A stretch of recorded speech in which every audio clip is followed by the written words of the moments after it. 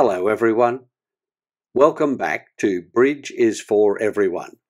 My name's Jad. This is a special episode to celebrate the channel reaching 1000 subscribers. First, let me thank you for your support in reaching this milestone.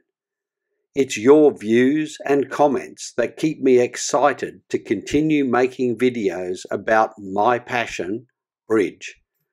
Now let's have some fun. I've played the alphabet game since I was a child. First by myself, then with my children, and later with my grandchildren. Now let's try it with the topic of bridge. Welcome to the bridge alphabet. A is for auction, the first phase of the game. B is for bridge, it's the game we all love. C is for contract, which we hope we can make. D is for dummy, the cards everyone can see. E is for everyone, just like bridge. F is for finesse, a strategy play. G is for grand slam, bid and win all the tricks. H is for high card points, they make players smile. I is for invitational bid, always try to accept. J is for Jacoby, which transfers the suit. K is for king, which counts half a trick. L is for long points, which add to our strength. M is for major suits, which we all prefer. N is for no trump, the hardest to play. O is for opening bid, which we hope partner makes.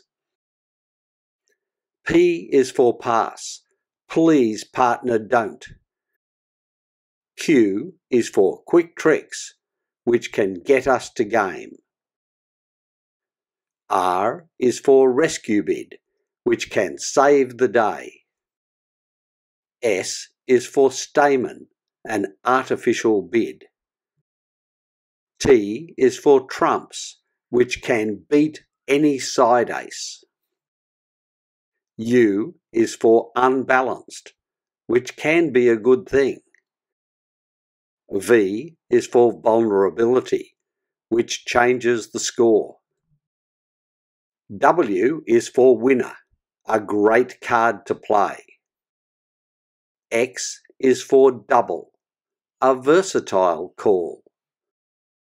Y is for you, when you learn to play bridge and Z is for zero points, the worst hand to have.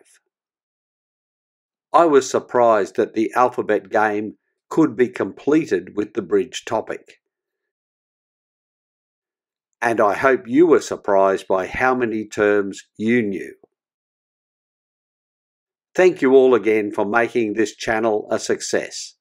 There are many more videos to come because Bridge is for everyone.